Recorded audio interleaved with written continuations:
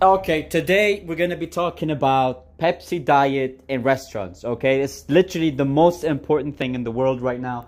Uh, yes. Okay, start the video. Right, so I'm a big fan of Coca-Cola, Pepsi, you know, sodas, and I know what society is gonna be like. Society's gonna be like, hey, you, you, do you know that uh, sodas, they can, one drop can kill you? You know that?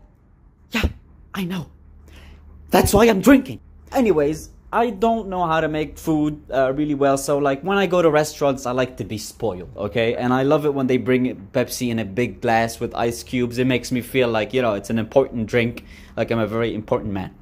But this is what really bothers me. I asked the waiter, I'm like, hey, can I have a Pepsi diet? He's like, yeah, sure. He decides that because I like Pepsi diet, I also like lemons.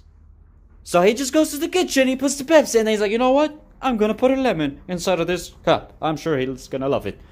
Why, why would you do that? I don't like lemon. So so he brought it, and now I gotta take it out, but I can't make it obvious because he's gonna be looking. So and and you you think that it's over, right? You took it out before it could disperse the whole lemon. No, you're wrong. Now the lemon is all over the Pepsi for the whole freaking uh, cup. I'm gonna have to drink it, and I'm gonna have to do that face. Mm. I don't like doing that face. It's like I drink and then I, mm. I don't like to do that, okay? And then I, I think if I ask for a refill, it's gonna be solved because he's like, oh, okay, he probably used the lemon, so he's not gonna lo- use another lemon, right? You're wrong. He's gonna be like, you know what? You want a refill?